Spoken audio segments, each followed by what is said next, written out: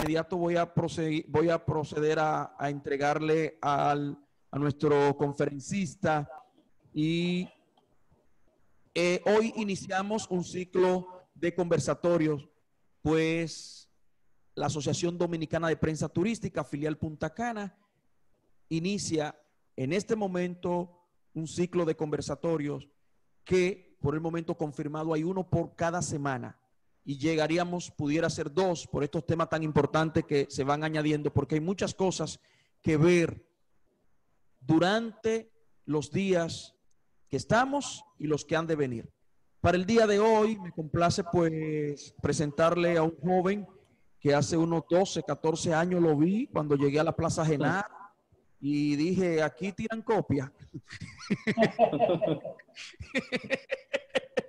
Él me dijo, sí señor, ¿en qué podemos ayudarle? y bueno, pues de verdad me siento realizado como amigo de él, ver hasta dónde Dios le ha permitido llegar, su preparación, a tal punto de ser considerado como uno de los más capacitado y preparado en el tema que nos concierne, que es ciberseguridad de la región este. Cursó estudios superiores en España y menos mal que no se nos casó por allá, sino que se que, está en Verón Baoro Punta Cana, catedrático e hijo de Ramón Zorrilla. Ramón Eduardo, buenas noches. Gracias en nombre de toda la directiva y miembros de la Asociación Dominicana de Prensa Turística. Gracias por estar con nosotros y te vamos a escuchar atentamente lo que tienes para enseñarnos. Te hago hospedador para que puedas compartir pantalla. Por favor. Para mí es un placer estar aquí con ustedes compartiéndole temas tan importantes como la ciberseguridad, además en estos, en estos tiempos que tenemos que compartirlo todo vía internet, las notas de prensa y ese tipo de cosas realmente a través de la red. Y qué mejor forma de hacerlo que de Ahora tengo unos slides por aquí, déjenme buscar los slides. Aquí está. Vamos a ver si comparto esta. Mientras, mientras los consigue, atento, Ramón, atento a los que a los colegas que pueden ir entrando, que se te va a presentar en la pantalla para que le dé entrada o le dé acceso. Ok, perfecto. A los que están viendo allá, ¿pueden ver la pantalla? Sí, yo la veo. Perfecto, ok, bien. Sí, la vemos. Melvin hizo una interesante introducción acerca de mí. Déjenme apagar la, la cámara.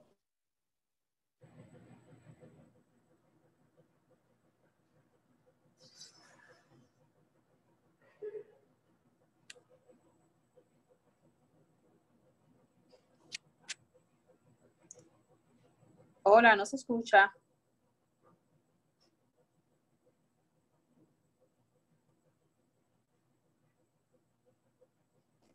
¿Me escuchas, Maciel? ahora, sí, ahora sí. Perfecto. pero te escucho. Sí, sí, la cámara la apagué. Bien, como les seguía diciendo, Melvin hizo una interesante introducción acerca de mí. Les decía que a título de grado tengo una licenciatura en informática por Unicaribe. Lo otro que él seguía diciendo es que mi primer máster fue de ciberseguridad en España, como comentaba. El segundo eh, con esto de la pandemia no se sabe, la tesis estaba supuesta a presentarse este año, es de comercio electrónico. He sido catedrático universitario y asesor geográfico de seguridad. La, el conversatorio que comenzaremos ahora es sobre ciberseguridad en la comunicación en tiempos de pandemia. Hay un fragmento, una frase muy interesante que mencionaba mucho el director de la Escuela de Negocios Next International Business School en España, donde cursé mis estudios de ciberseguridad, que decía lo siguiente, su nombre es Manuel Campo Vidal, y es somos lo que comunicamos, porque lo que decimos es lo que reflejamos a quien nos escucha. Y partiendo de esa idea, cabe destacar un error es garrafal que vi yo en la comunicación en esos días, que es que cortaron por asuntos de crear noticias la información que dijo un síndico, me parece que es, que este año, en este, en este nuevo periodo electoral, él sí iba a robar, pero no fue eso lo que él dijo. El problema fue cómo lo cortaron, cómo cortaron la información. y si no se hubiera tenido el video original, pareciera como que él dijo que en, este, que en esta nueva campaña se iba a robar. Entonces, ese es un punto a, a favor de la ciberseguridad en ese sentido, porque él tenía la información correcta. Seguimos. Hay que definir la ciberseguridad antes de empezar a hablar sobre temas de cómo securizarse en la red en la red a través del envío de datos. La ciberseguridad, y esa es una definición que me gusta bastante, consiste en la, en la protección de datos inter interconectados. Cuando hablamos de interconectados nos referimos a los datos que se envían a través de la red. Esos que se envían por correo electrónico, etcétera. Dejaré esta pregunta en el aire, ya que utilizamos la plataforma Zoom. Imagino que vieron el reporte que fue intervenido incluso por el FBI de filtración de datos. Y la pregunta es, ¿Zoom seguro o no seguro? Esa es la cuestión, para dejarlo como, como una nota al aire para el final. Bien, los peligros que enfrentan ustedes como, como, como, comunicadores en estos tiempos de pandemia es, son los siguientes. El phishing, el ransomware, ingeniería social, spyware, robo de identidad y suplantación de identidad. Estas son una serie de técnicas de hacking, básicamente, que las utilizan los ciberdelincuentes para obtener información. Les voy a definir cada una de ellas para que tengan una idea clara de lo, de lo que les estoy hablando. Y dentro de los slides les mostraré cómo identificar un phishing. ¿Por qué solo un phishing? Porque la mayor cantidad de información que ustedes manejan y envían es a través de correo electrónico. ¿Cómo se darían cuenta de que una información es verídica o es un malware, algún ciberdelincuente que intenta hacerse con su información digital? Voy a proceder a, a definirla cada una. El phishing es, como me gusta definirla, es una multitécnica cuyo fin es hacerle creer al receptor que el emisor es conocido y de confianza para solicitar la información confidencial. Por ejemplo, ¿cómo saben ustedes que el correo que les llegó, que les llegó supuesta, supuestamente de Melvin es de Melvin? ¿Cómo lo identifican? Más adelante les mostraré cómo identificarlo. Ransomware. Me imagino que hemos escuchado mucho acerca de él. Eh, creo que tuve la oportunidad de hablar de uno, ahí lo escuchan y lo ven. Creo que, tengo, que tuve la oportunidad de hablar sobre el famoso WannaCry, Melvin, corrígeme si me equivoco, que en un programa que tenías tú con, junto con Franco Cedeño en el 2017. Sí, así es. Que, afectó a más de 144 mil computadoras en el mundo, que empezó incluso por la reconocida empresa telefónica cuyo departamento de ciberseguridad tiene a uno de los más importantes hackers del mundo, que es Chema Alonso, mi hacker de cabecera, como me gusta decirle. Pero bien, vamos a definir ransomware. Franco, para que tengamos... dale, perdóname, es sí. que necesitamos que silencie el, tu, tu micrófono. Dale a silenciar. Ahí, perfecto, Franco. Excelente, ahí. Eh, continúa, Ramón Eduardo. Perfecto. Voy a definirle un poco lo que significa ransomware para que tengan una idea general.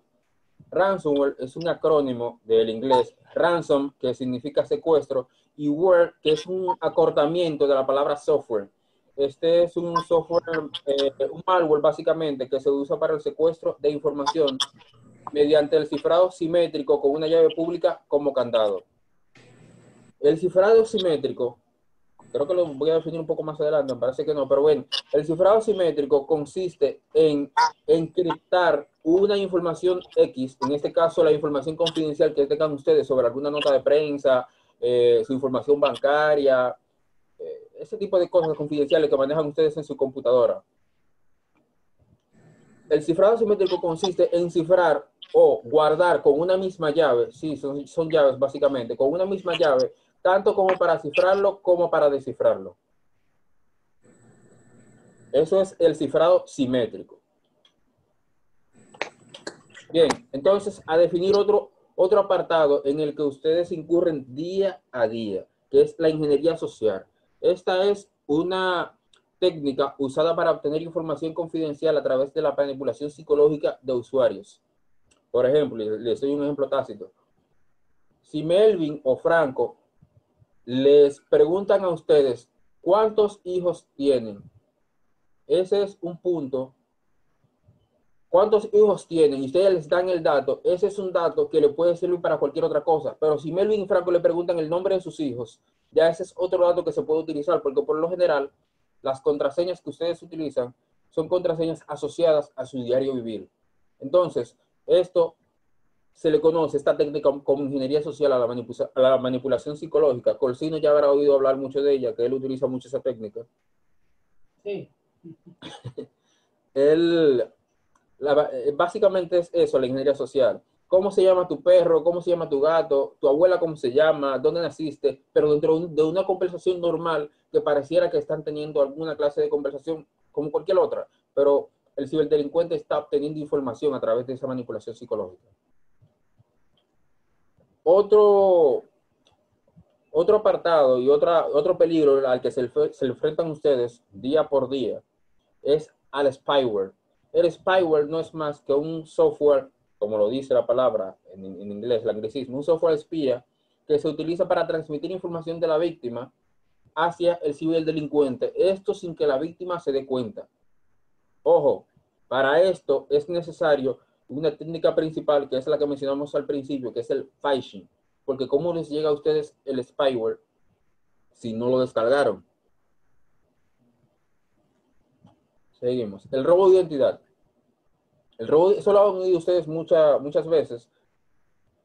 El robo de identidad se ha asociado a la, a la web, al, ciberespacio, porque el ciberespacio es una copia del mundo físico. El robo de identidad consiste en usar información personal del usuario sin su aprobación con el fin de cometer un ciberdelito. Básicamente es eso. Lo que ustedes han, visto y han escuchado eh, día por día en el mundo físico. Ah, que le robaron la identidad a fulano, que se hicieron pasar por fulano. básicamente eso, pero en el mundo virtual. El mundo virtual ha tomado mucho auge y más con países como Estonia, que es totalmente digital. Se puede solicitar incluso residencia por la web a, Estonia. Estonia es totalmente digital y nosotros en República Dominicana estamos copiando básicamente eso para convertirnos en una República Dominicana. Y día por día lo estamos haciendo. Ya tú puedes pagar la luz por internet. Puedes pagar el teléfono por una aplicación sin, moverte de tu casa. Puedes hacer cualquier cosa por internet, eh, hacer transacciones bancarias, puedes hacer tu vida cotidiana sin ni siquiera moverte de tu casa o de tu asiento. Ah, que se me olvidó pagar la luz. Ah, no, espérate, déjame conectarme aquí a la, a, la, a la plataforma. Lo pagas por ahí sin ningún tipo de problema. Otra, otro punto que tenemos es la suplantación de identidad. Parecerá que es lo mismo que robo de identidad. Son básicamente primo hermanos, algo así. Porque la suplantación de identidad consiste en hacerse pasar por una entidad o persona, es decir, no necesariamente por una persona, sino por una entidad financiera, un canal de televisión, un, cualquier cosa, básicamente, que se ha visto, eh, que se ha visto realmente, el Banco Popular ha sido uno de los más afectados en ese sentido. Porque, y de hecho, yo han tenido campañas para ayudar al usuario a identificar el, ese phishing, esa suplantación de identidad, que se suplantan al Banco Popular. ¿Cómo funciona esta suplantación de identidad? básico. Les llega un correo electrónico diciéndoles, yo soy el banco X. Y cuando llega el correo electrónico, te dice, mira, tú tuviste un, cargo de tantos dólares, que ese era el cargo que tenía. Cuando el, usuario no se percata ni siquiera de dónde le llegó el correo, solo, solamente ve los logos del banco, que ese es su banco, y procede a ingresar a través del correo electrónico. Ojo, ningún banco les dice que ingresen sus datos por un correo que les llegue a ustedes. Les solamente los mandan directamente a la web. Pero les, sigo diciendo, cuando ustedes ingresan los datos, no solo le piden el usuario y la contraseña, que al ingresarlos se les, les llega al ciberdelincuente. También le piden el token. El token cambia cada 60 segundos, cada, cada, cada minuto, esa secuencia de seis dígitos. ¿Qué pasa? Que se lo pide varias veces. Es decir, el ciberdelincuente tendrá un chance de más o menos tres minutos, dependiendo de la velocidad con que el usuario coloque esos seis, esos seis dígitos que se lo pide varias veces para suplantar su identidad y robarle información porque solamente necesitaba su usuario, su contraseña y el token que es el doble factor de autenticación. Ahora yo les quiero mostrar a ustedes la correcta estructuración de contraseñas, y espero que me hagan caso. ¿eh? La correcta estructuración de contraseñas se hace mediante el uso de frases y algún símbolo. A mí me gusta llamar a esto contraseñas fraseadas. Les voy a mostrar un ejemplo. Por ejemplo, si yo tengo una frase fácil como una fiesta en Santo Domingo y yo quiero utilizar eso como referencia para generar una contraseña, es sencillo. Yo utilizo las primeras letras de esa, de esa frase, la U de una, la F de fiesta, el artículo en lo utilizo completo, lo coloco también así en minúscula, la U y la F como estaban en la, frase, en mayúscula, la S de Santo Domingo, la utilizo, la D de domingo y la G de domingo. Y le coloco encima un número 455, como fue el primer código de área de, aquí del Distrito Municipal Verón, y un asterisco para que sea una contraseña alfanumérica. Cuando me pidan en alguna plataforma mi contraseña, entonces yo lo asociaré de alguna manera a la frase, una fiesta en Santo Domingo, el código de área de Verón y el asterisco. Y ya esa es una contraseña, se vuelve una contraseña robusta. No es como ponerle el nombre de tu perro, el nombre de tu gato, el nombre de tu abuela y un número. ¿Por qué? Porque esos son datos que día por día se manejan entre los conocidos y los no, conocidos. Porque puede tener una conversación normal, Erika, y Macier en una plaza cualquiera, y entonces eh, se dan datos como, mira que me compré un gato y le puse tal nombre, o mira, me compré un perro y le puse tal nombre, y alguien va pasando por el lado y la se reconozca, ah, ese Erika o ese Maciel de la emisora. Entonces, y le pongan, y digan, ah, no, espérate, déjame poner la atención, y ese nombre de ese gato y de, esa, y ese perro, o de cualquier otra cosa X, lo utilicen porque ese es el nombre que generalmente la gente utiliza para ponerle, para, colocar las contraseñas. Es bueno siempre tener esto en mente, generar contraseñas robustas. Si no tenemos un doble factor de autenticación, que ese es un factor extra, que ya toda, la mayoría de las plataformas lo permiten, como un token o una verificación que te llega un mensaje al, teléfono, ese tipo de cosas. Bien, aquí vamos a identificar un phishing. A mí recientemente me llegó este phishing a mi correo de Hotmail. Me llegó un phishing de suplantación de identidad de USPS, que es el Servicio Postal de Estados Unidos, y bastante elaborado realmente. El primer factor para identificar el phishing y darme cuenta, el primer tipo de engaño que utiliza el, el ciberdelincuente es el ticket que genera USPS cuando tú generas una solicitud en su plataforma. Y yo lo veo y digo, ah, pero mira, es de USPS porque hubo el ticket, pero ese es el primer engaño. El segundo engaño es el siguiente, y donde podemos identificar que no es un correo de USPS. En el correo del emisor que se ve arriba, al principio dice United States Postal Services, pero cuando vemos el correo dice teixeira.emhm.pt y es entonces cuando se prende el bombillito y uno identifica, espérate, debió haber sido un correo arroba usps.com porque el, dominio es usps.com. No puede llegarme un correo de USPS si no es arroba USPS. Aquí hay algo raro. Entonces, esos son tres factores para identificar el phishing. El siguiente, los siguientes factores. Y les menciono lo del phishing porque ustedes manejan muchos correos electrónicos. El siguiente factor, fácil de identificar. Dentro de la información que me llega, me llega un botón que dice More Information, pero podemos identificar hacia dónde nos redirecciona ese botón. Fácil, muy fácil. Colocamos el puntero encima del botón sin dar clic y abajo en la barra de tareas del navegador, como ven el cuadrito rojo al final, abajo a la izquierda, vemos hacia dónde nos redirecciona ese, ese botón, eso sin dar clic. Y cuando miramos lo mismo que lo anterior, vemos que no es una URL o una dirección arroba USPS. Ese es otro, otro punto que nos identifica que, identifica que este es un phishing. Otro, otros factores son los diferentes vínculos. Colocando el mouse encima, el puntero, perdón, no el mouse, porque el mouse lo tenemos en la mano, el puntero encima de alguna de, de estos stickers, que son stickers, eso es lo que se ve en el front-end, lo que ve el usuario normal, pero lo que está detrás, eso es lo que nos muestra la barra de tareas, la, barra de tareas abajo. Bien. Espero que le- les haya gustado la, la identificación de phishing. Ya más adelante veremos algunas preguntas que tengan. Ahora quiero mostrarles cómo identifican una URL, que la URL, o sea, que la dirección de correo que hayan entrado, qué sé yo, al listín diario, al diario libre, y que sea segura la, la transmisión entre ustedes como usuarios para obtener información y el diario libre. ¿Cómo eh, lo- logramos identificar que esa información entre, ustedes está cifrada?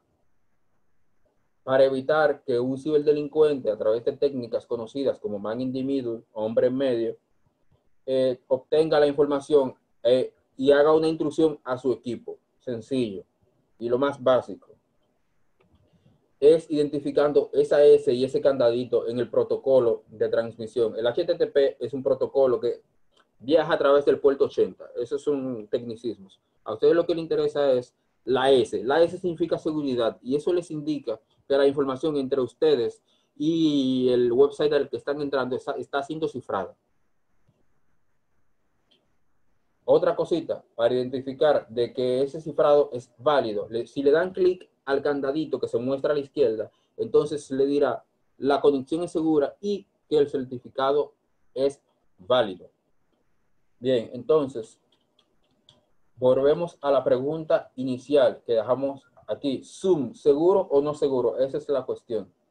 Bien, Zoom, eh, si no fuera seguro, no fuera una plataforma que cobra millones de dólares. Vale más que las siete aerolíneas más importantes del mundo, juntas. Entonces, ¿cómo securizamos la transmisión que estamos haciendo ahora? Como lo hizo Melvin, generó una contraseña para la transmisión. Esa es una, una, una, una cápita de seguridad. Pero si queremos nosotros ser host y registrarnos en Zoom, yo les recomiendo lo siguiente, para evitar caer en... Para evitar que, que la, que, la trans, que la transmisión en vivo que estén haciendo, evitar que surja una intrusión. Bien, lo siguiente es, Zoom te da varias opciones de registro. Entre ellas, el logon de Gmail de Google y el, el logon de Facebook y el registro directo en Zoom. Yo les recomiendo que como host se registren de manera directa en Zoom. ¿Por qué? Porque si lo hacen a través del logon de Google, porque consideran que es más rápido así el registro, entonces ustedes están dándole a Zoom, a la plataforma de Zoom y a todo el que tenga acceso a, la, a cualquier a cualquier eh, evento online que tengan ustedes, le están dando acceso a toda la información que maneja Google, que es una múltiple cantidad de información, porque Google tiene una única cuenta para todo, para sus redes sociales y para su correo. Si lo hacen utilizando el logo de Facebook, porque es más rápido, le están dando acceso a y control a todo lo que tenga que ver con sus redes sociales. Y miren que hay muchas cosas en las redes sociales de Facebook porque la gente publica día por día, tiene la información privada que se supone debe ser privada, la tiene pública, como, el, como un teléfono. Por ejemplo, si Melvin tiene, para que vean una forma de hacer una búsqueda rápida dentro de la plataforma de Facebook, de Facebook, si Melvin tiene su teléfono público, yo con el simple hecho de que, por ejemplo, Melvin me llame y yo no conozco el número de Melvin, yo coloco el número de Melvin en el buscador de Facebook, doy enter y Facebook me va a decirle a quién pertenece ese número, porque por lo general la gente coloca su número y lo deja público en Facebook. Esa es una manera de hacer ingeniería inversa. Y así yo veo quién fue que me llamó, eh, cuáles son sus, sus contactos y ese tipo de cosas. Entonces, lo correcto al momento de registrarse en Zoom es hacer el registro directo, porque así Zoom, Zoom solamente tendrá control de lo que ustedes eh, ingresen en ese formulario de registro. Única y exclusivamente eso. No le estarán dando ni control de Facebook ni control de, de Google. Eh, si tienen alguna pregunta, eh, Melvin, tú como host. Perfecto, yo creo que sí que podemos hacer un alto. Si puedes, entonces, voy a habilitar cuadro de pantalla. Sal de, de, de, de la pantalla, de la diapositiva. Ya. Ok, para que nos veamos, para que nos podamos ver las caras. Bienvenido a los que se conectaron ya después de yo haber dado la, la, introducción. Naomi, Linares, lo te veo ahí. No sé si está escuchando Robert Linares ya. Veo que está conectando tu audio. Bueno, pues vamos a, vamos, vamos entonces, chicos, vamos a empezar eh, con algunas preguntas. Yo, ahí lo pueden ver, ok. Vamos a empezar con la dama. Tengo a Maciel, Tucide, Ramón Zorrilla, ellos tres. Vámonos con ellos tres y yo continúo entonces. Maciel Geraldino. Mm, Mi pregunta es, buenas noches para los que se conectaron hace un momentito.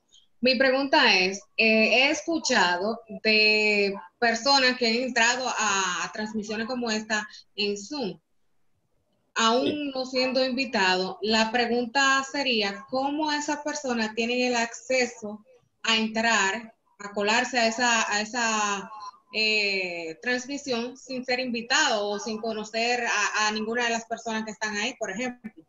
Pareciera, y te respondo, pareciera que no la conocen, pero, por ejemplo, me imagino que Melvin compartió el link de, esta, de este evento a través de algunos chats, y en esos chats las personas, a través de ingeniería social, eh, manipulación psicológica, se lo mandan a otras personas, mira, entra, que este evento es bueno, no sé qué. Por, por ejemplo, yo tengo ahora mismo eh, otro usuario conectado a este evento desde mi teléfono. Ok. Tienes, repi- ahí no se, no se entendió, Ramón. ¿Qué tienes? Otro usuario conectado a este evento desde mi teléfono. Ok. Y fue, y fue con el mismo usuario y contraseña que enviaste. Es decir, Zoom no te permite crear una lista de contactos que limite única y exclusivamente a esos contactos a entrar a la plataforma. Es todo el que tenga el link y la contraseña puede entrar sin ningún problema. Ah, ok. O sea, no es que, por ejemplo, eh, yo lo, yo lo eh, pongo físico. Por ejemplo, en, un, en una fiscalía hay varios tribunales y, y yo voy pasando y digo, bueno, déjame entrar a esta, a esta audiencia, por ejemplo, a ver qué es lo que están hablando aquí. No es exactamente así. Perdón, no entendí la pregunta, repítela de nuevo. Vamos a suponer que, que estamos en, en una fiscalía eh, y hay varios tribunales y que yo Sí. esté caminando por ahí y yo decida, ah, déjame va a entrar a esta, a esta audiencia, a ver de qué están hablando, a quién están acusando. No es exactamente así.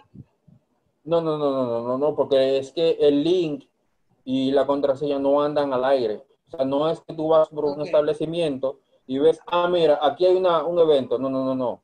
El problema Ok. con los eventos son la- las propias personas que no, no saben de, de seguridad y no saben cómo manejarse a través, eh, con, la, con la seguridad eh, virtualmente, realmente.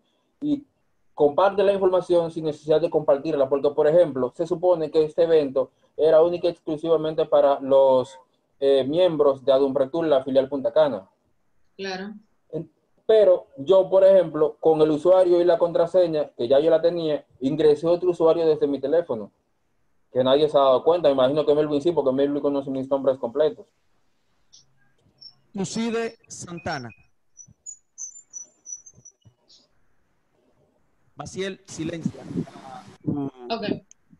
Sí, quería, quería simplemente preguntar, cuando nos sale el anuncio, por ejemplo, que nosotros hay un, hay un, ¿cómo se llama? Lo que tú mencionabas hace un momentico, de la, en la página que tú entras, por ejemplo, que te dice que eso está vencido o algo así. Eh, cuando, te cuando te sale eso, que, que más bien el, el tema de la seguridad de esa página. El certificado digital. Exacto, el certificado, que el certificado está vencido, Sí. o que no se ha renovado, o, o que no tiene en algunos casos. ¿En qué aspecto eso me debe preocupar o no? Muchísimo realmente. ¿Por qué? Porque tú estás dejando tu información al aire, la información que manejes entre tú y esa cuenta. Porque, por ejemplo, digamos que a Amazon se le venció el, certificado, que me parece que se le vence ahora en noviembre. Tengo entendido que revisé el certificado cuando estaba haciendo la diapositiva. Estás ingresando a Amazon y en Amazon tú manejas usuario y contraseña. Si a Amazon se le venció el certificado, significa que la información, tanto de usuario y contraseña, está viajando a través de la red en texto plano. Es decir, se sabe que es eh, T Santana, es el usuario, y 1, 2, 3, 4, 5, 6 es tu contraseña, porque está viajando en texto plano. Esa es la parte importante de eso. Ahora bien, no solo eso, eso le deja pie a que un ciberdelincuente, porque es un ciberdelincuente, no un hacker, el hacker utiliza la información de hacking para el bien, que un ciberdelincuente eh, se meta en, en, el medio de la conexión, que a esa técnica se le conoce como man in the middle, y entonces él no solo tenga la información de tu cuenta de Amazon, sino también toda la información que tú manejas a través de, de tu computadora, porque él puede crear un hueco en el navegador que le permita acceder a tu computadora y tomar control de ella. Ramón Zorrilla y luego Rumba Punta Cana, que es nuestra hermana Mónica, nuestra amiga Mónica. Ramón Zorrilla, su turno ahora. Yes, sir. I don't want to be the man in the middle. I like to be the middleman. bueno, señores, la realidad es que nosotros debemos ver al mundo virtual, para acotar a lo que decía Ramón Eduardo, como una extensión del mundo real. Y en ese sentido, una cosa que nos hace estar seguros es la paranoia. Nosotros sabemos que en todo caso debemos estar, eh, pensar de que alguien nos está mirando, nos está observando, nos está grabando. Siempre es así y debemos y debemos hacerlo así. Entonces, hay mucha confusión también en cuanto al mundo, en cuanto al mundo, al mundo virtual y al mundo real. Como es una extensión, a veces nosotros eh, pensamos que podemos hacerlo igual. Por ejemplo, nosotros tenemos aquí esta reunión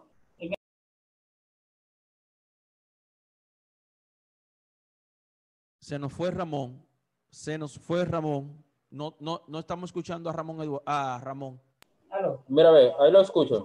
Sí, sí, ahí sí. ¿Me escuchas, no? Sí, sí. Sí.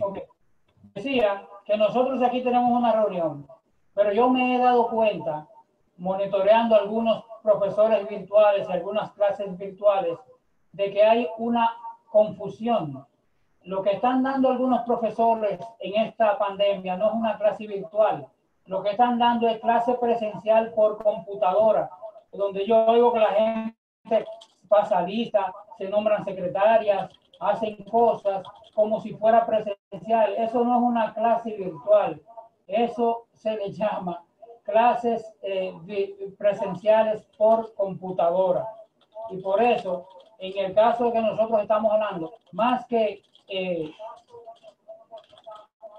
más que la, la seguridad, debemos siempre pensar que lo que nosotros estamos diciendo para aumentar esa seguridad, alguien lo está escuchando y que alguien lo está editando, como Corsino sabe qué pasa. No quiero decir que él lo haga, pero, pero lo sabe. Es tan paranoico como yo. Entonces, eh, se sabe que se hacen esas cosas. Entonces debemos llevar eh, cuando estoy hablando en la radio, cuando estoy hablando en esta reunión, de hecho, cuando estoy caminando por la calle, debo pensar que no esté solo. Ese amiguito imaginario que tenemos cuando somos niños, lo tenemos ahora grabándonos, chequeándonos, editándonos, mirándonos, fotografiándonos y no estamos solos. Es lo que tenemos que pensar a la hora de como comunicadores emitir una opinión al aire incluso hasta escribir algo que esté en un medio digital, porque los medios digitales no son seguros. Y Ramón Eduardo podrá decirle mejor que yo de eso, que es el que sabe de seguridad. Pero los medios digitales no son seguros. Por eso debemos tratar de que lo que nosotros digamos sea lo más y debemos creer que lo está sabiendo el gran público que lo está oyendo hasta el que no queremos que lo oiga, no nos haga daño. Así es que es lo que quería decir sobre esa seguridad. Más tarde, tal vez si hay tiempo, le acotemos una cosita a algo que dijo Ramón al principio. Ok. Gracias. Eh, tengo una pregunta. Sí, sí, te tengo en turno, Corsino. Te tengo en turno. Ya te puse en turno. Vamos con Mónica, rumba Punta Cana. Vale, buenas noches para todos. Em, mi pregunta tiene que ver con la... ¿Me escuchan, no? Sí.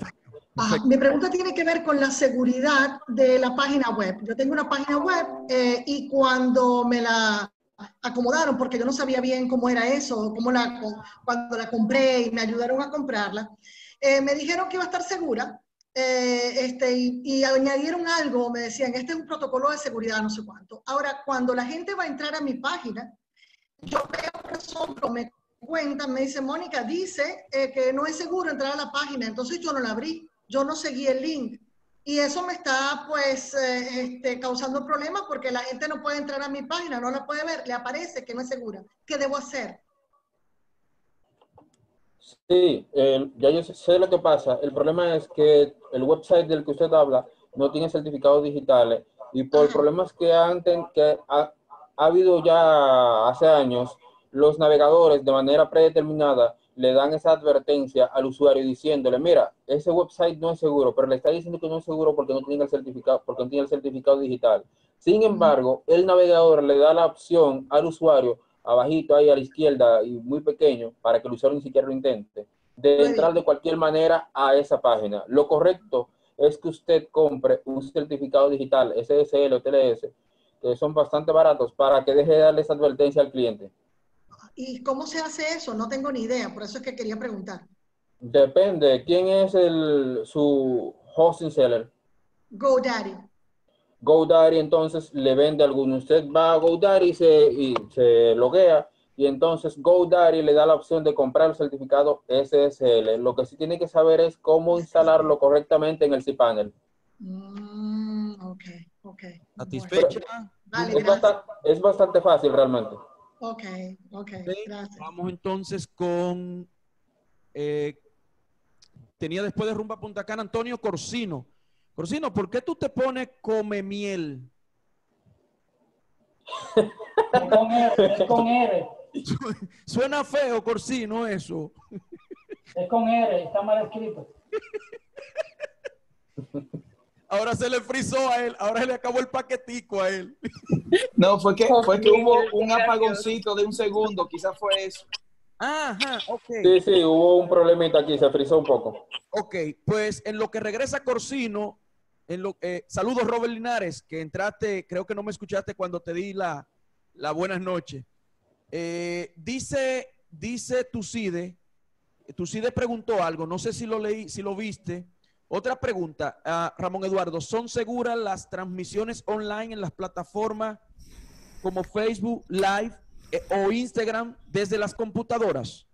Eh, sí, sí, le, respondí algo ahí en el, en el chat, pero voy a responder como quiera, de cualquier manera. De que si son seguras o no seguras, o no seguras, ya la seguridad del 100% no se puede garantizar. Ahora bien, hay métricas. Por ejemplo, como host de la cuenta de la red social o Facebook o Instagram o YouTube, siempre hay mecanismos de seguridad. Yo le recomiendo que utilice el doble factor de autenticación. Instagram, en el caso de Instagram, le permite no solo utilizar un mecanismo de doble factor que le llegan unos mini mensajes al teléfono, sino de utilizar aplicaciones eh, como Google Authenticator también, que sirve para eso, que sirve, que funciona como token, para generar un token cada que inicie sesión. Eso impedirá que el que no tenga ese token o ese mecanismo de doble factor de autenticación le robe la cuenta. Es básicamente eso lo que se trata de securizar, porque de que entren a la, a la transmisión en vivo, se supone que eso es lo que queremos. El asunto es que no nos roben la cuenta.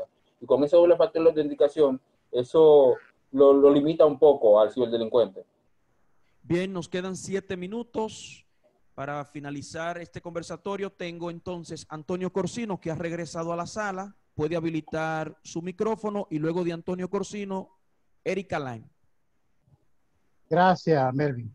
Oye, desde los años de los hackers en los 80 hasta, bueno, un, un hacker, si se puede decir positivo, Edward Snowden, Snowden, no ratificó de que no estamos solos de que realmente el ojo no tiene presente y ya no solo quebranta derechos, que es la parte que quisiera eh, que Ramón Eduardo no confirme, eh, realmente no estamos solos y en pos de la seguridad, pero con ella no quebrantan derechos de la intimidad, de exponer realidades nuestras al mundo en pos de la seguridad. Bueno, acaba el gobierno de, y ahí va hoy con mi pregunta, de una unidad de monitoreo, que sabemos cómo se llama CMDH, 5I, que tiene control, monitorea. Tú hablas de lo, que, de lo que plantó el Ministerio de Defensa, ¿no? Cierto, eso, ese centro tiene hasta cierto punto control, eh, que criollamente la realidad que exponía, por eso se la mención de Edward Snowden, sí, de esa realidad y con ello quebranta nuestra intimidad en pos de, bueno, la seguridad, el seguimiento, monitoreo a la realidad de la crisis sanitaria, pero realmente es de derecho, quebrantan un derecho más bien este tipo de intervención, porque cuando un, hay un ciberataque a tu cuenta, a una de tus plataformas, lo hace a título personal, pero cuando ya el Estado lo hace con la, la, la intención de tener control social sobre los individuos, realmente se quebrantan derechos. ¿Cuál es tu opinión al respecto, estimado Ramón Eduardo? Bien, como especialista en ciberseguridad, yo siempre abogo por la seguridad antes de la privacidad. Y realmente lo que se está haciendo con eso, el C5I, eh, que tiene el Ministerio de Defensa, ese es un centro de operaciones que comúnmente se conoce como SOC. Y todas las entidades, tanto financieras como gubernamentales del mundo, tienen su, su propio centro de operaciones. Eh, lo que ellos están haciendo es básicamente digitalizar la seguridad. Ellos no van a hacer una intrusión a tu cuenta bancaria, eh, a tus estados financieros, a nada de ese tipo. Lo que ellos, a los que ellos van a, a lo que ellos van a tener acceso es a lo que tú tienes público. Esa es una parte ahí que siempre me gusta aclarar. Y vimos en el, caso de, de, Facebook que tuvo eh, Mark Zuckerberg que, que ir al Capitolio sin ninguna razón realmente, porque la brecha de seguridad no fue de Facebook, fue del propio usuario, porque la gente no securiza sus datos de, para nada. Ahora con esa brecha que se mostró por algunas, por, algunos análisis tipo Big Data, Data Science que se estaban haciendo y se mostraron que había muchos datos que no debieron haber estado en el público, es que la gente está entendiendo que la información eh, de tu dirección, de tu teléfono, eh, tus fotos, no debe estar pública. Por ejemplo, yo tengo redes sociales y mis redes sociales, mis fotos y ese tipo de cosas solamente las ven mis contactos, que no son mis, contactos, aunque tengan mi usuario, no pueden verlas debe, yo debo primero aceptarlos como contactos. Ese es un método de seguridad. La gente tiene que entender que tu casa, tu casa, tú tienes una llave y un candado y solo entra quien tú quieres. El gobierno no entra a tu casa sin una orden tu fiscal. Entonces, es lo mismo en el ente digital. El ente digital es el, un, una duplicidad de lo que es el mundo físico. Tu Facebook es tu casa, ponle llave para que no entre quien tú no quieres que entre, ni tenga la información quien tú no quieres que la tenga. O sea, en el, en el asunto ese de si, de si, hay seguridad o privacidad, realmente la privacidad va a depender de lo que la gente, de cómo la gente configure su vida digital. Bien, Erika, adelante.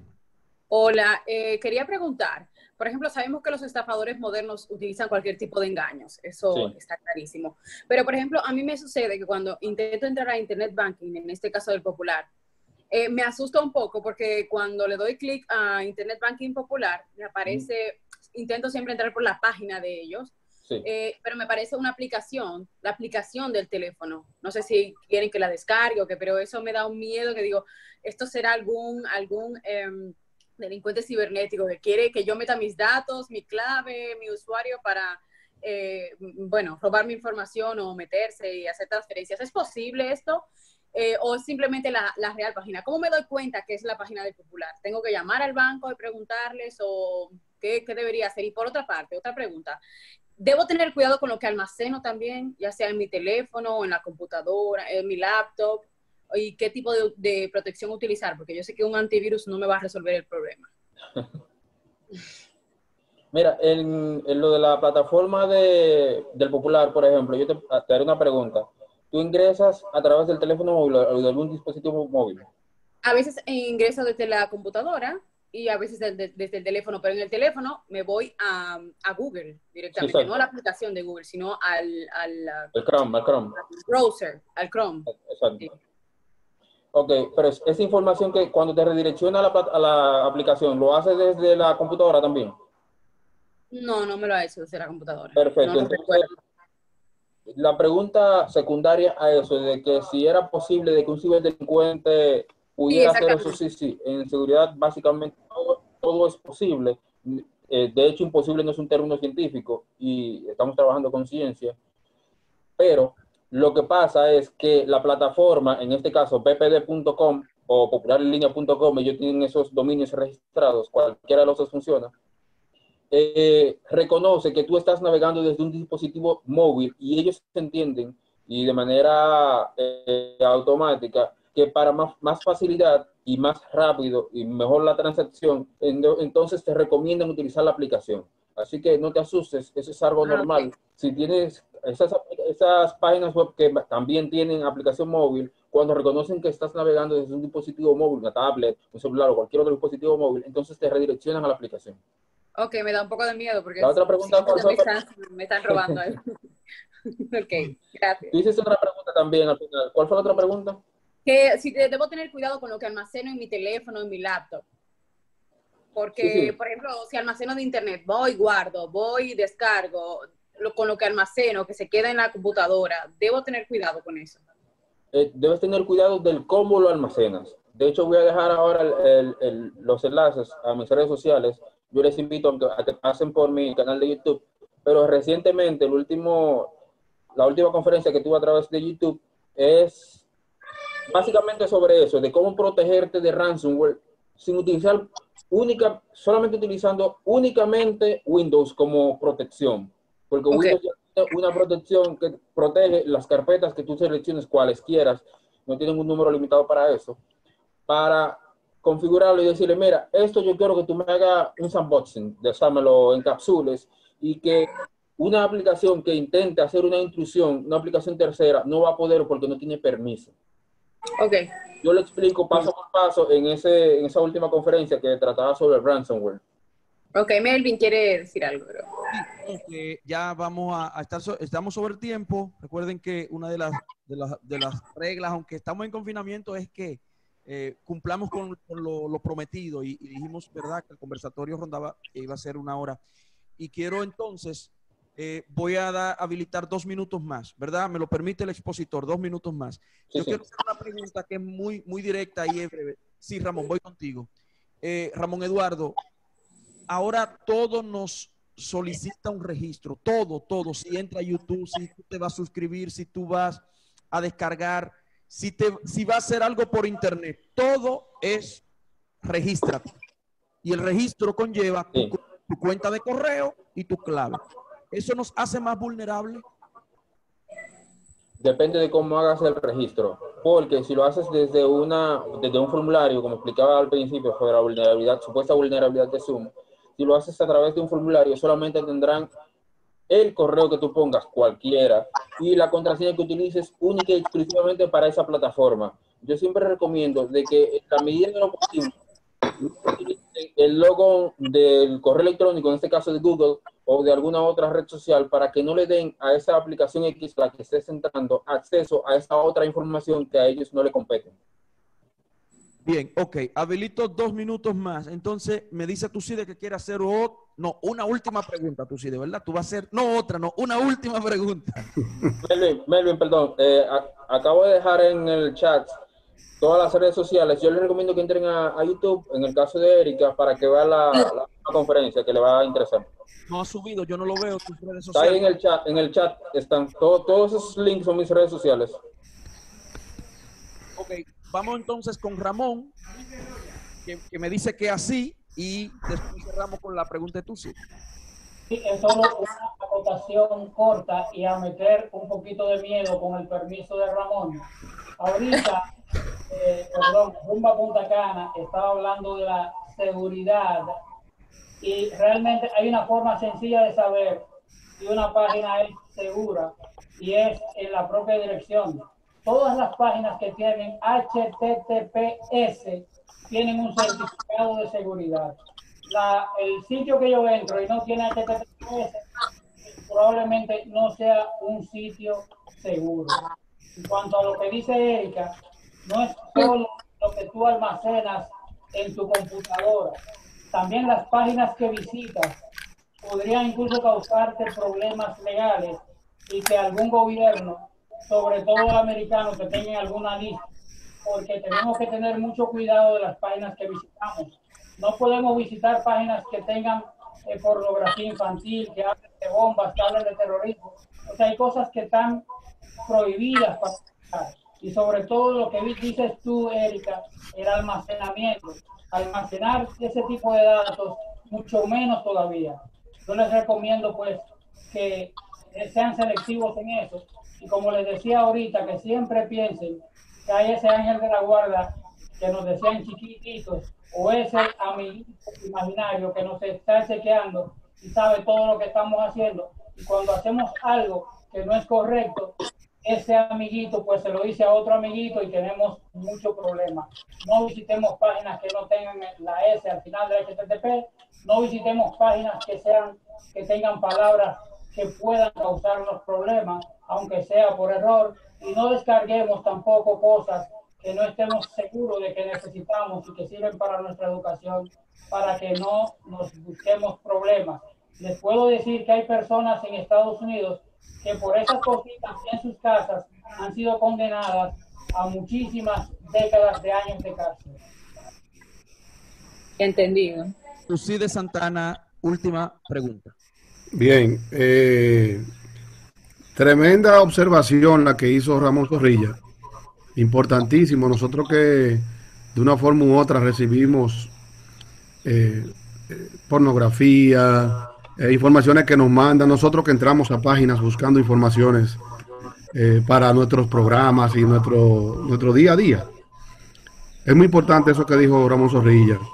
De cara a la ley de protección del menor, eso es eh, importantísimo tomarlo en cuenta.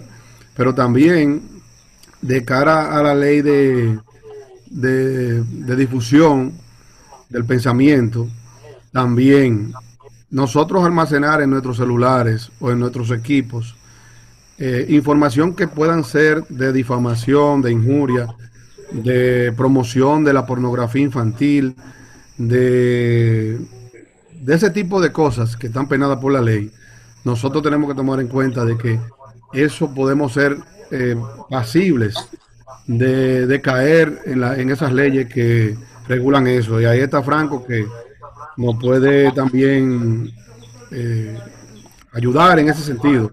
Pero es, bastante importante eso que dijo Ramón Sosilla. Voy a la pregunta mía. Yo tengo hace como tres días que me está llegando una unos correos diciéndome que diciéndome que yo eh, debo que están tratando de entrar. Yo, yo quería ver si me podía poner a compartir la, la pantalla, Melvin si me daba autorización a compartir la pantalla. Eh, Ramón, O, si me permitía compartir la pantalla, si me daba permiso. Vamos a hacerlo. No es nada pornográfico, eh, tranquilo. eh, Melvin, ¿cómo por dónde se habilita eso aquí? ¿Eh? ¿Cómo es? ¿Por dónde lo habilito aquí?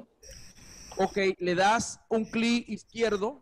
Ok, perdón, ya te voy a hacer host, Melvin. Nombre de tu CIDE. Melvin, te estoy haciendo host para que lo hagas. Te dice host ya. Ok.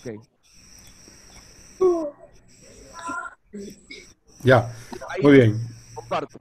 Mira, a ver, yo estoy llegando, me está llegando hace, hace días este correo diciéndome que yo, o sea, un código para restablecer mi, mis, mi correo electrónico.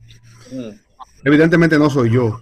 Entonces, en este caso, por ejemplo, que eso me imagino que nos ha pasado a alguno de nosotros, evidentemente puede ser alguien que esté tratando de entrar a mi correo, de, de- de contra- de quitarme mi contraseña, de robarme mi acceso. Hackear. Exacto, de hackearlo. Entonces me pide, evidentemente, ese código, pero me lo manda a mí, porque yo, mi, mi otro correo de seguridad eh, hace que me lo mande a mí. En este caso, por ejemplo, yo, yo pensando hoy, que fue, hoy me ha llegado como tres veces el mismo correo, con distintos códigos, yo digo, pero yo no tengo nada que hacer, porque en este caso, lo que me está diciendo es que es un método de protección. Yo evidentemente puedo cambiar la, puedo cambiar la clave, pero, cambiando la clave quizás es el gancho que también está tratando de meterme. Eh, No, eh, de hecho, si cambias la clave directamente desde la plataforma de Microsoft, no habrá ningún problema. Lo que parece ahí, como dice que te ha llegado ya varias veces ese correo, es que alguien está intentando hacerse con tu correo principal. que veo que es. Eh, Tus- tus tus eh, tus. Sí, tu sitio arroba. Perfecto. No, no, no, eso no es ningún problema. Ellos, hay alguien que quiera hacerse específicamente con tu correo electrónico para algún, para alguna cosa. Tú puedes cambiar tu contraseña, pero desde la plataforma de Microsoft, no mediante ese correo que te llegó ahí, porque no sabemos si eso es un phishing o algo así. Habría que identificar dónde redirecciona cada cosa. Pero si lo cambias desde la plataforma de Microsoft, no habrá problemas. Eso es lo correcto, porque así la persona no tendrá forma de decirle que se dio la contraseña o algo así, que es algo- a- ese tipo de técnicas que están utilizando, dándole a la contraseña para entonces recuperarla. Lo que no sabían era que tú tenías como doble factor el otro correo. Exacto, correcto. Eh, pero lo, lo que yo decía, bueno, bueno, no debo hacer nada en este sentido porque estoy protegido. Pero también me preocupa de que, bueno, si insisten tanto, tú sabes que hay métodos, por cierto, de, de- de investigar, de llegar a, a- a hacerlo a través de otro correo y ese tipo de cosas. O sea, se hace una investigación, se hace algo más profundo y se puede llegar. Entonces, mi, mi asunto es como que si pudiese existir dentro de Microsoft una posibilidad de que la- el restablecimiento de contraseña no pueda ser mediante ese método, sino algo más seguro. Creo que hay otro método. Sí, sí, hay, hay varios métodos para el restablecimiento de contraseñas. Lo que yo sí te recomiendo es que en alguno de los apartados de ayuda de Microsoft, que hay varios, les digas que alguien está intentando acceder a tu correo de manera maliciosa. Eso, hay un apartado para eso. Y hay otro, otros mecanismos de seguridad, como, qué sé yo, poner tu teléfono como token y que te mande los mismos mensajes a tu teléfono. Cada vez que necesites acceder a tu correo. Yo lo tengo así, de hecho, en mis correos. Y Ok. así, así quien tenga mi usuario y contraseña, que en este caso no tienen tu contraseña, pero sí tu correo, que es el usuario, eh, va a necesitar tu teléfono como doble factor. Ok, excelente. Eh, Tú sí, de- devuélveme como, como hospedador, por favor, para que no se me pierda la grabación, porque todavía... Eh, Eh, sobre te- mi nombre hay, un, hay una pestaña que dice más. De mi nombre, yo estoy, búscame, Mingo Vélez. Aquí dice aquí hot waiting room, allowed record, report, remove. No, no, no, no, no, no. Te vas a participante, habilita participante, que hay unos muñequitos abajo. Sí, sí, sí. Salimos todos, ¿verdad? El listado. More, ajá. Busca mi nombre. Sí, ya lo veo aquí. Ah, hay una pestañita que dice más. Sí, A mí me apareció como los tres puntitos. sí, sí, dice more. Pero, ¿dónde dice aquí? Make host. Ya, ya, Make host. ya. Gracias. Ya. Ya. Ok, ya tengo aquí. Señores, muchísimas gracias. Gracias. Voy a bajarle la mano a Erika porque creo que, que va a preguntar otra vez. No, yo no he levantado la mano. No, no. Muchísimas gracias. Así iniciamos este, estos conversatorios eh, a través de eh, esta plataforma Zoom vía Don Pretur filial Punta Cana. Aquí no solo están los miembros de Adon Pretur, sino que hay comunicadores invitados. Nosotros abrimos, queremos que ustedes también, parte de Adon Pretur, también puedan participar. Eh, gracias a nuestros invitados, Rafael Olivo, pues ahí está, bueno, Mónica y, y- y- y Alberto, que están al ladito, son una sola carne. Bueno, pero entonces saludo a todos ustedes en nombre de toda la directiva. Aquí está Ramón Zorrilla, que es nuestro, nuestro encargado de capacitación y que fue un aliado para que hoy tengamos a su hijo como expositor, Franco Cedeño, que es nuestro tesorero, y los demás. de Don Pretur. Ah, Erika, Erika también forma parte de, de nuestra directiva. Eh, Sí. para la, en la próxima semana, a todos ustedes le- le- les digo, miércoles tenemos a la señora Milka Hernández, experta en turismo. Por el turismo, Milka nos estará hablando de los retos del turismo dominicano post-COVID-19 o durante el coronavirus. Sí, me habló? Mel- Melvin, ¿me escuchas? Sí, te oigo. Quiero hacer un último aporte, ya fuera del, del tema central, que era la ciberseguridad de la comunicación.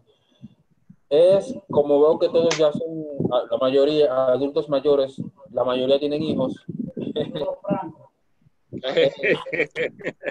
La, la mayoría tienen hijos eh, menores. Franco, eso fue, eso fue porque te vio a ti, Franco. Y con esa barba más. Les decía que la mayoría tiene- tienen hijos que manejan dispositivos digitales y como siempre soy a favor de la tecnología, lo correcto no es eh, quitar los dispositivos digitales, sino colocarle mecanismos. Y entonces ahí les recomiendo entonces que visiten el canal de YouTube y una de las conferencias que hice una vez para los amigos de Tactical Edge en Colombia, está la, la conferencia de control parental, donde doy algunos tips para poder securizar a esos jóvenes en esos dispositivos digitales y, algunos, y algunas aplicaciones que recomiendo por esa vía. Bien. Ramón, a ti muchísimas gracias, Ramón. Gracias por, por aceptar nuestra invitación y ser, eh, empezamos bien. Esto no fue un laboratorio porque no, no te pusimos a prueba ni es una prueba de nada. Tú estás al más alto nivel y tu profesionalismo. Pero de verdad que me siento contento de que estos conversatorios hayan iniciado contigo. Muchísimas gracias una vez más por tu disposición. Bueno, yo, yo debo decir que he aprendido muchísimo esta noche. Eso, eso es lo que se quiere, es lo que se quiere. Yo creo que todos hemos aprendido. Un aplauso entonces. Sí, bravo. Bravo. Muchas gracias. De, verdad que ha sido súper interesante. Maciel, Para mí ha sido un placer estar aquí. te vi. Dime, Mingo. la última vez que te vi, Franco, la barba. No, tampoco.